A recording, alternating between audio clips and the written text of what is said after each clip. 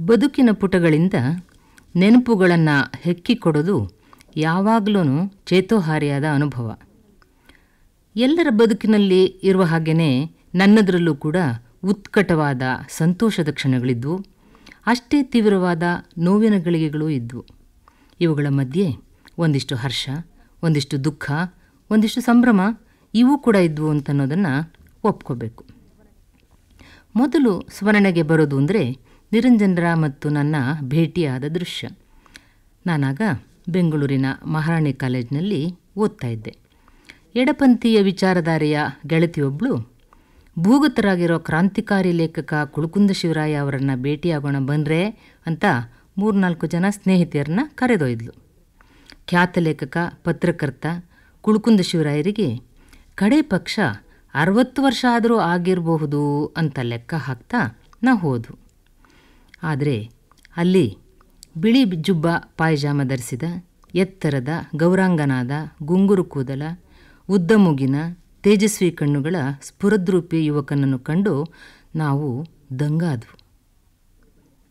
ಆತನ ಮಾತು ಮುಗಿದ ಬಳಿಕ ಗೆಳತಿ, ಇವ್ರು ಕತೆ ಬರೀತಾರೆ ಅಂತ ನನ್ನ ಪರಿಚಯಿಸಿದ್ಲು. ಅದನ್ನು ಕೇಳಿದ ಕೂಡಲೇ ನಿರಂಜನರ ಕಣ್ಣುಗಳು ಅರಳಿದ್ವು.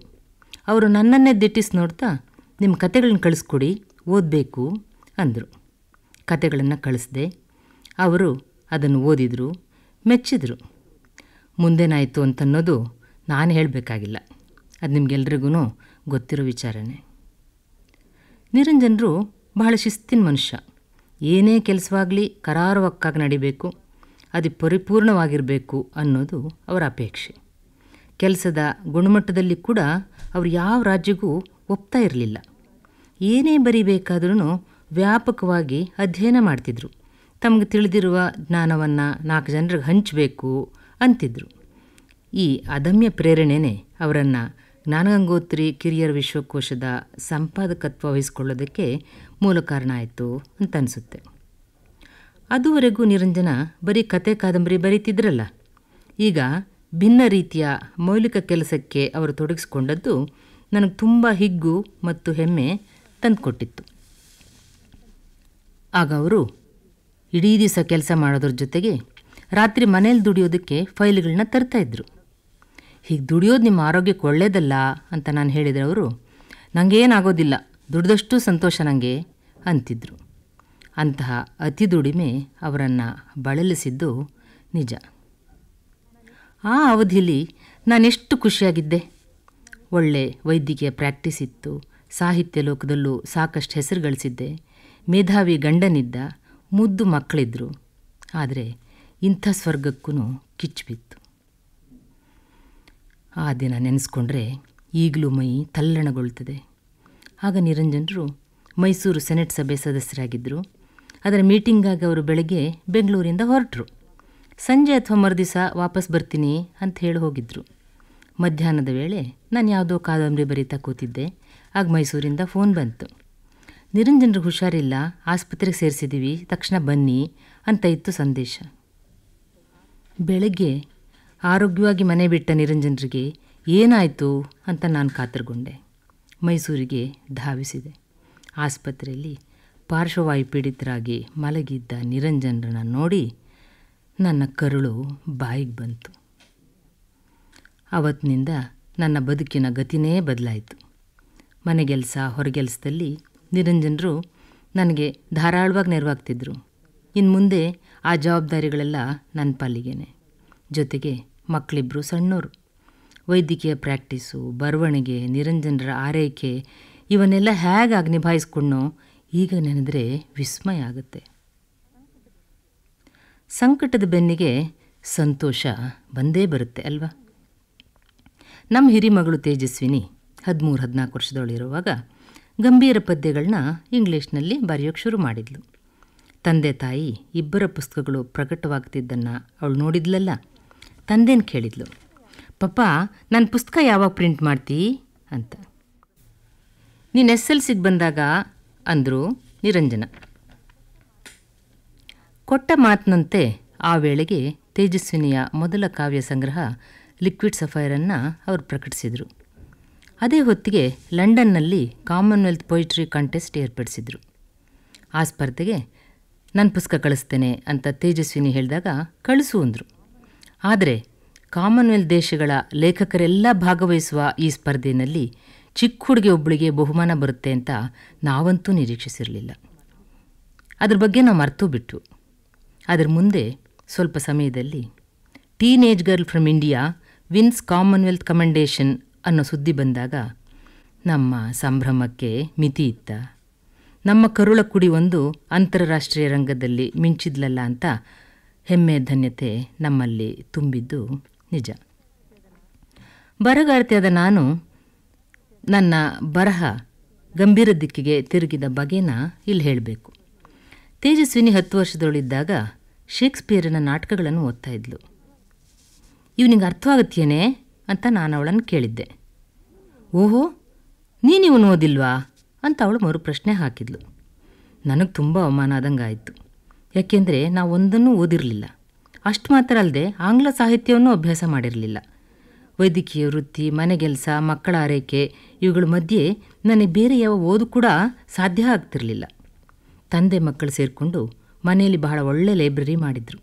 ಅದರ ಸದುಪಯೋಗ ಪಡೆದು ಪುಸ್ತಕಗಳನ್ನ ಓದೋಕ್ಕೆ ಶುರು ಮಾಡಿದೆ.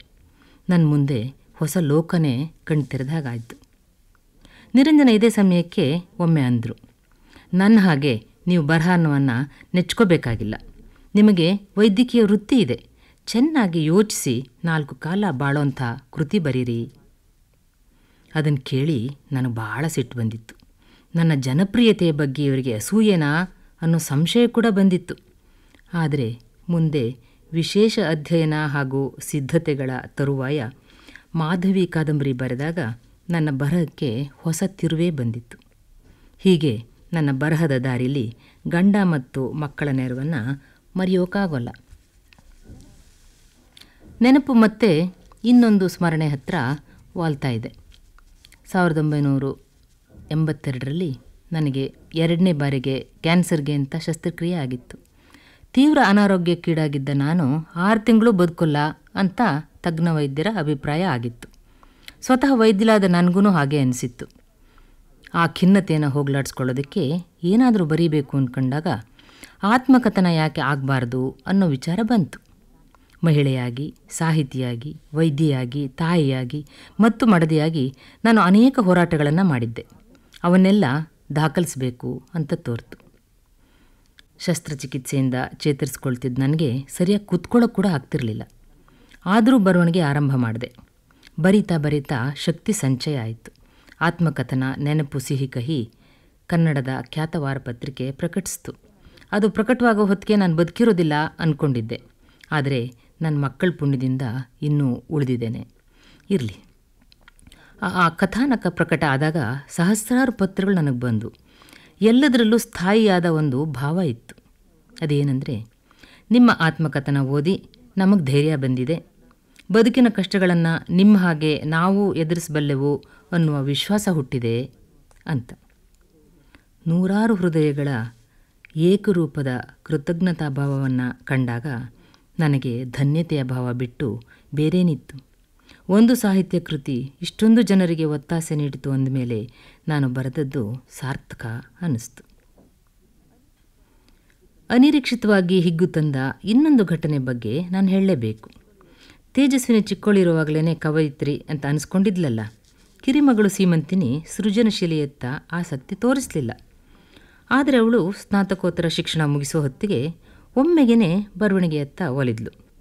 ಒಂದಿನ ಅವಳು ಅಮ್ಮ, ಈ ಲೇಖನ ಹೇಗಿದೆ ನೋಡು ಅಂತ ಹಲವು ಪುಟಗಳನ್ನು ನನ್ನ ಕೈಲಿ ಇರಿಸಿದ್ಲು. ಅವನು ಓದಿ, ನಾನು ದಂಗಾದೆ. ತ್ರಿವೇಣಿ ಕೃತಿಗಳ ಸಮೀಕ್ಷೆ ಮತ್ತು ವಿಶ್ಲೇಷಣೆಯನ್ನು ಅವಳು ಅತ್ಯಂತ ಪಾಂಡಿತ್ಯಪೂರ್ವಕವಾಗಿ ಮಂಡಿಸಿದ್ಲು. ವಿಮರ್ಶೆ ಮತ್ತು ವಿಶ್ಲೇಷಣೆಗಳು ನನಗೆ ಗೊತ್ತಿರಲಿಲ್ವಲ್ಲ.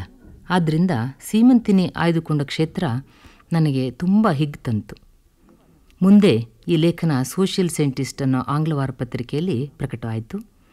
ಬಳಿಕ ಕನ್ನಡ, ಇಂಗ್ಲಿಷ್ ಎರಡರಲ್ಲೂ ಲೇಖನ ವಿಮರ್ಶೆಗಳನ್ನು ಸೀಮಂತಿನಿ ಬರೆಯೋಕ್ಕೆ ಶುರು ಮಾಡಿದ್ಲು. ನಿರಂಜನ ಕುಟುಂಬ, ಸಾಹಿತ್ಯ ಕುಟುಂಬ ಅಂತ ಹೆಗ್ಗಳಿಕೆಗೆ ಪಾತ್ರವಾದದ್ದು ಹೀಗೆ. ಕಳೆದ ಡಿಸೆಂಬರ್ನಲ್ಲಿ ನಿರಂಜನರಿಗೆ ಕರ್ನಾಟಕ ವಿಶ್ವವಿದ್ಯಾನಿಲಯದ ಡಾಕ್ಟರೇಟ್ ಬಂದಾಗ ಮನೇಲಿ ಎಲ್ರಿಗಿಂತ ಹೆಚ್ಚು ಸಂತೋಷವಾದದ್ದು ನನಗೆ. ನಿರಂಜನರಿಗೆ ಮೊದಲಿಂದನೂ ಇವುಗಳಲ್ಲಿ ಆಸಕ್ತಿನೇ ಇರಲಿಲ್ಲ. ಬರೆಯುತ್ತಾ ಹೋಗೋದು ಮಾತ್ರ ನಮ್ಮ ಕರ್ತವ್ಯ. ಅದಕ್ಕೆ ಪ್ರಶಸ್ತಿ ಇತ್ಯಾದಿ ಯಾವತ್ತೂ ನಿರೀಕ್ಷಿಸಬಾರ್ದು ಅಂತ ಅವರೇ ಆವಾಗಲೂ ಹೇಳ್ತಾ ಇದ್ರು.